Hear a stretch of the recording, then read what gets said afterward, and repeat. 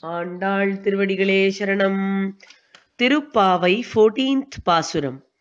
உங்கள் புழக்கடை தோட்டத்து வாவியுள் செங்கழு நீர் வாய் நெகிழ்ந்து ஆம்பல் வாய் கும்பின காண் செங்கல் பொடிக்கூரை வெண்பல் தவத்தவர்.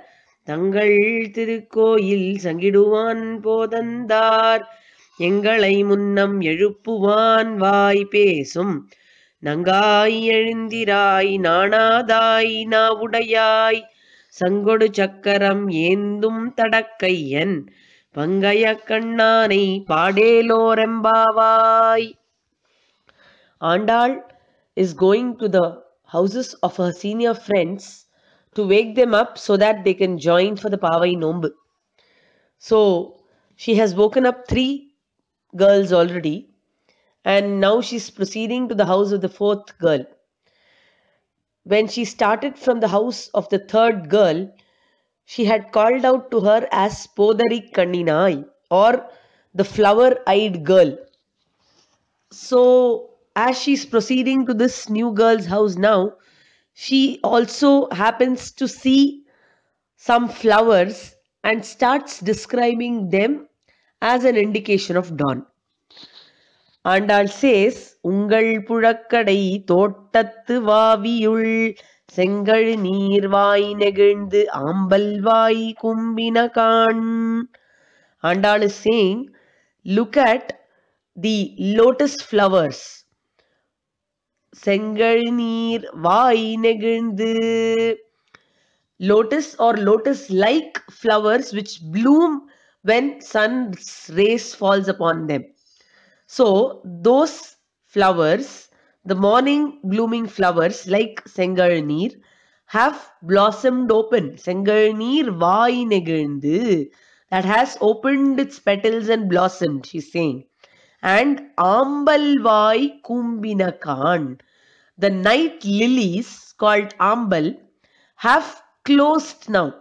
So night timing is over and morning has set in. This is a big indication, she says. As Andal says this, it seems that the girl from inside is replying and saying that, What are you people saying? It is not at all dawn now. In fact, we have just come home after the meeting of yesterday. We spoke about the Lord and his beautiful names and said that we would come the next morning for Pavai Nombu but you people are hyper enthusiasts. So, wanting to start the Nombu much before time, you people are ensuring that everybody comes and you all are trying to tell them that it is dawn. So, you're trying to imitate situations which happened during dawn. So, essentially, you have gone and opened the petals of flowers which blossom only in the morning and forcefully closed the petals of flowers which close in the morning. So I don't believe that actually the morning flowers have blossomed and night flowers have closed. Then Andal laughs and says, See, if you speak about flowers generally, then it is possible that we can do such a thing. We can go and open the petals or close the petals or do anything with them. But we are specifically talking about flowers in your garden and not just in your garden but the flowers which are present inside a well in your garden she's talking about water flowers here so andal is saying that ungal pulakkadai தோட்டத்து வாவியுள் தோட்டத்து refers to garden வாவியுள் means inside a well vavi refers to a well into which we can get down in those days there used to be wells with steps to get down inside.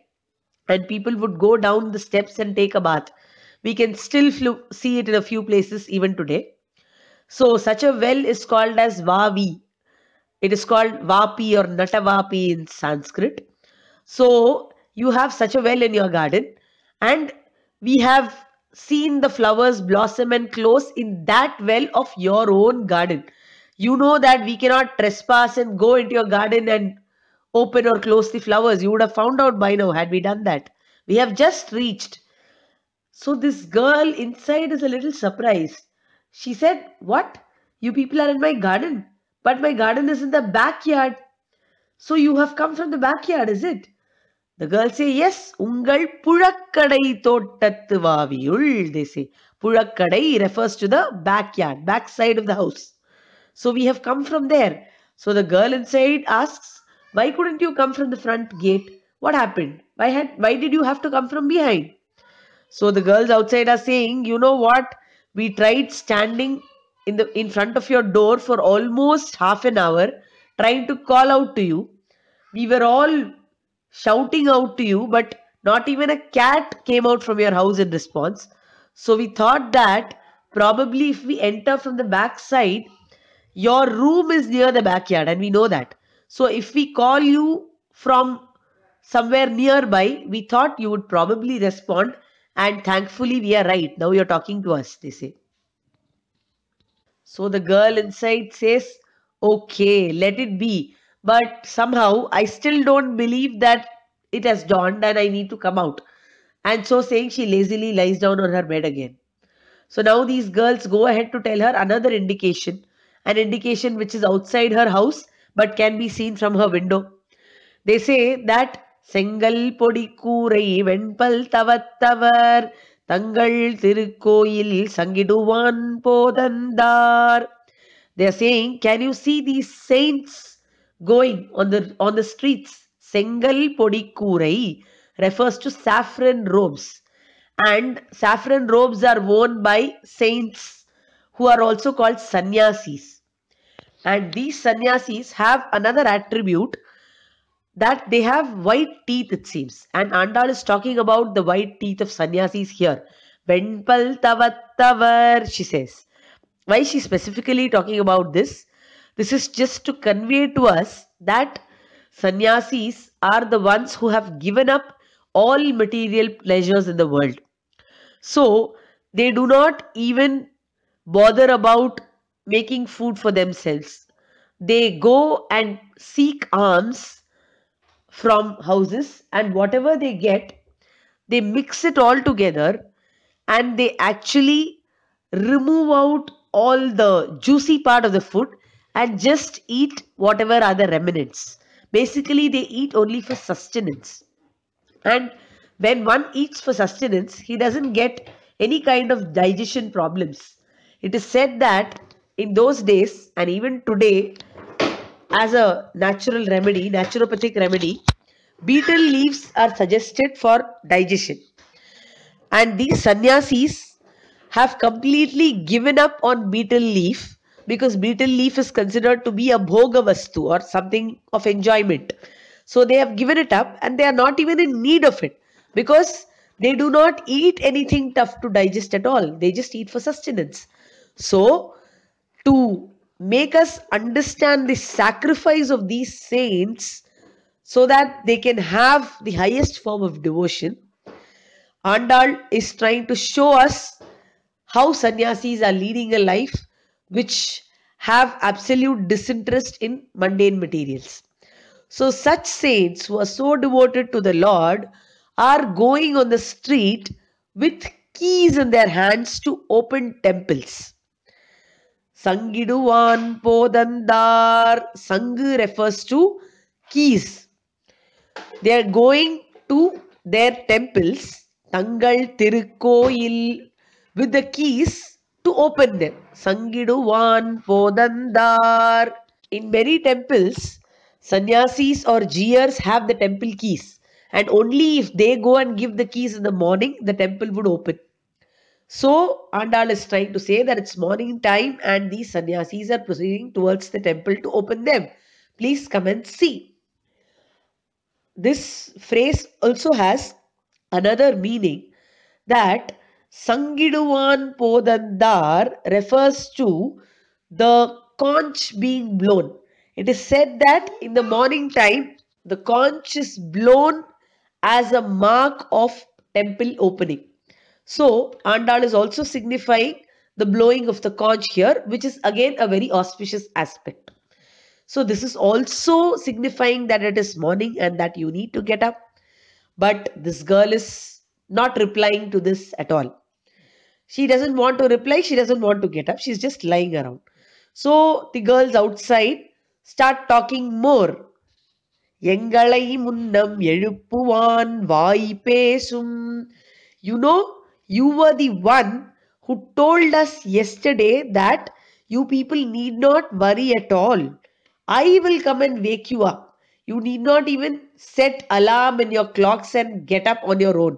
I will be the first one to get up and I'll come and wake you all up.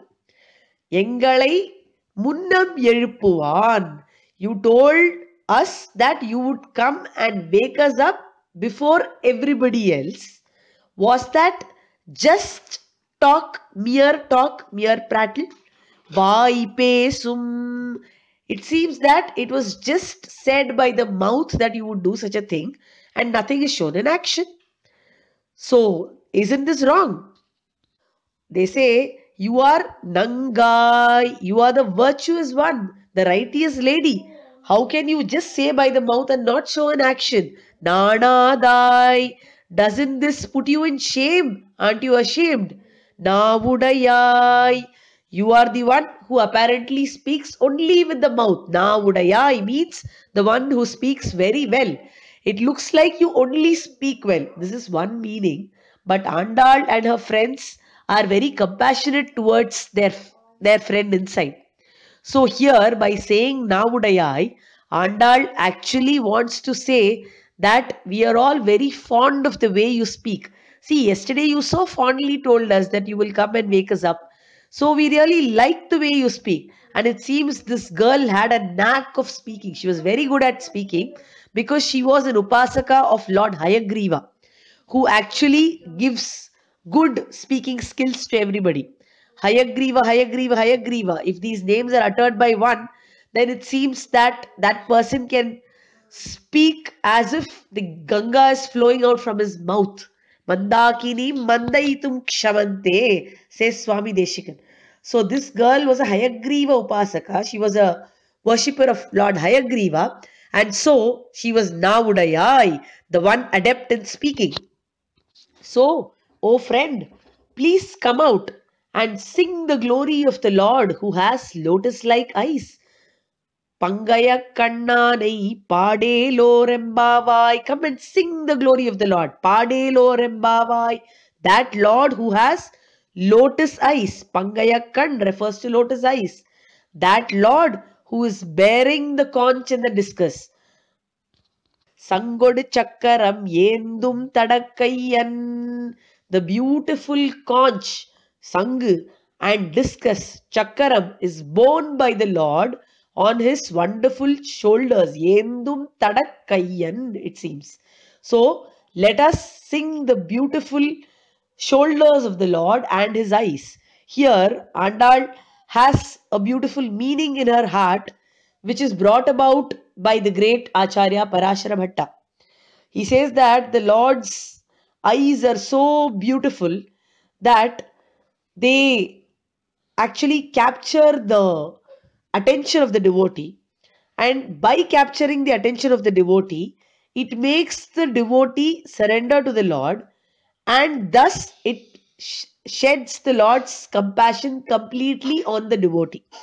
So the eyes are capable of shedding great grace on devotees.